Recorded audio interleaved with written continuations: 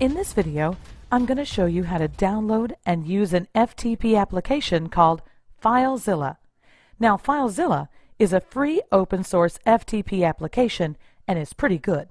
So the easiest way to get started is to go to google.com and type in FileZilla. And click on Google Search. And right on top here, you'll see the link to the official FileZilla FTP page. Click on that.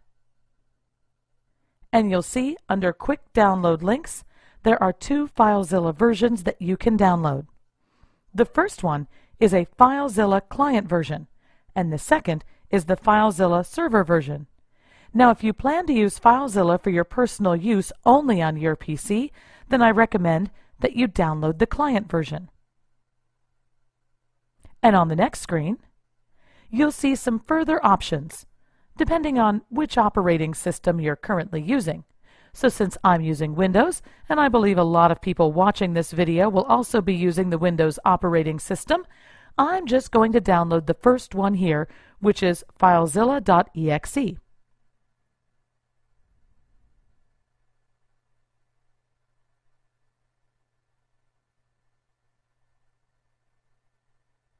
So now I see a pop-up window here on my Firefox browser, and it's going to prompt me to either open a saved file, and I'm going to click on Save File. Once your download is complete, just double-click on the FileZilla setup file. Just start to install FileZilla onto your PC or laptop.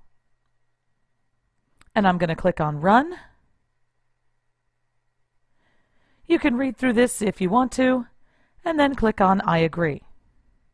So if you have previously installed FileZilla, it will prompt you to upgrade FileZilla using previous settings, which means that all your previous websites and connections set can soon be maintained.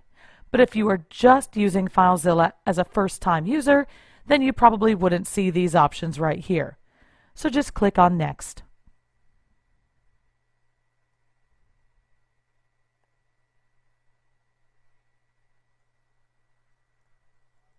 And my FileZilla has been installed, so I'm going to go ahead and start FileZilla now.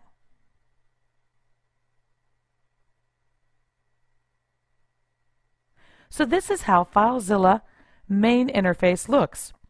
And if you're connecting to several sites very, very frequently, then you may want to add your sites into the Site Manager right here under File and Site Manager. And under the Site Manager option setting here, you can add as many sites as you want. You can even put in some advanced settings and some transfer settings. However, the easiest way to use FileZilla is to simply type in your host name right here, followed by the username and the password, and click on Quick Connect. So let me give you an example.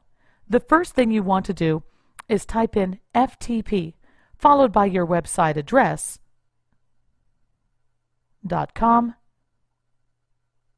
So it's pretty much standard, right?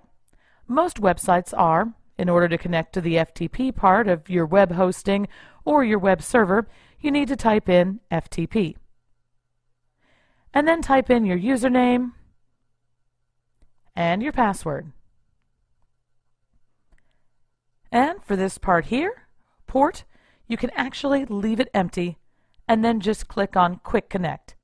And this is the easiest way to use FileZilla to connect to your web hosting so that you can upload, download, edit, or add new files into your web server.